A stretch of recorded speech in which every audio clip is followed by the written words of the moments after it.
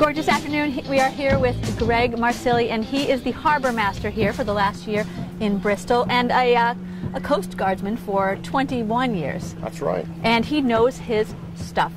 Fell in love with Bristol the first time he came here and has not left. And we cannot wait for the harbor tour with Greg Marsili. That's right. He's going to show us some of the great boating amenities here in Bristol Harbor. Let's get on the pursuit and let's go.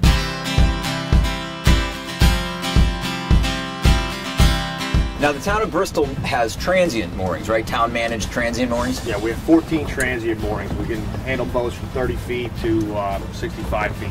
And our dinghy dock's located uh, behind the fire station. There's no tie-up fee. It's free. So, uh, Greg, tell us about this uh, tie uh, this tie-up float here. Okay, on the, on the south side we have the pump-out station. It's free to anybody to use. We got water on the dock as well, in case they need to fill up a little bit of water.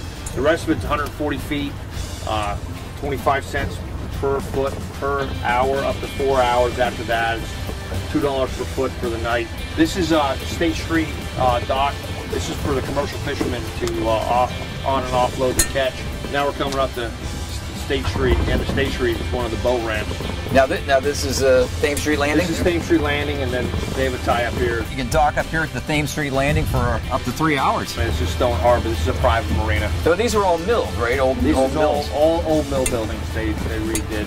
They look. And then, you know, you can always buy the, the marina slip and go with it. This is the Independence Park boat ramp, And that's free too, right? and that's free. Uh, There's no charge down here for the waterfront activities. Well, Harbor Master Greg, that was a great tour. You confirmed our suspicions. This place is very cool. Yeah, yeah, very friendly, very cool. Lots of great uh, accommodations for transients and day trippers. It's uh, yeah, it's really inviting. Come back. Oh, you bet we, We will. We absolutely will. and so are a lot more people too. Yeah, well, that's, that's so good. get ready. You're going to be busy.